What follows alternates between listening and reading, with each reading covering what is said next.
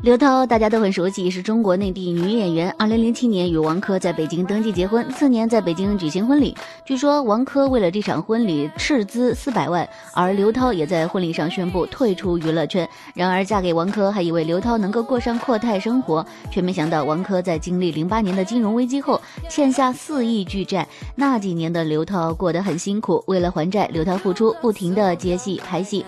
王珂在经历这么大的打击后，精神不振，患上了抑郁。刘涛又要照顾丈夫，不过刘涛并没有怨言，辛苦了几年的刘涛终于还清了这笔巨款。如今网上又传王珂因投资失败再次欠下六千万，不知是真是假，让人又为刘涛捏了一把汗。这王珂难不成是位败家达人？但是再大的家业也经不住他这样折腾。